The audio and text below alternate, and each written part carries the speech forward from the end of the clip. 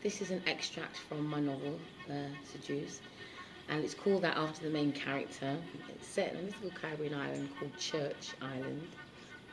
And the same view with mother see, and the same with grandmother see before she. I consider town once so little and sharp, trying to itch its way up my hill.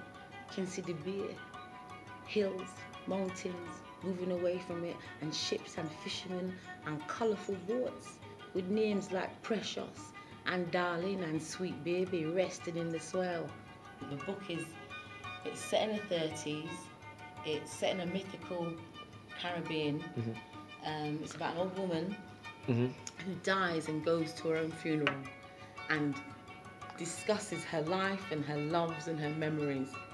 It's also uh, been written in the first person, so all the characters have their own, their own, yeah, their own voice. It's not an authorial thing; they have their own voice, and plus I'm writing it in patois.